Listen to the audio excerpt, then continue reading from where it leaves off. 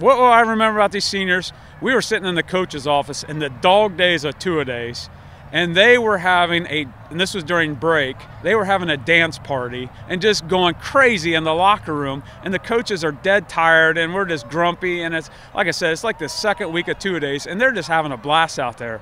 And we just look at each other and just shake our heads like this is quite a team.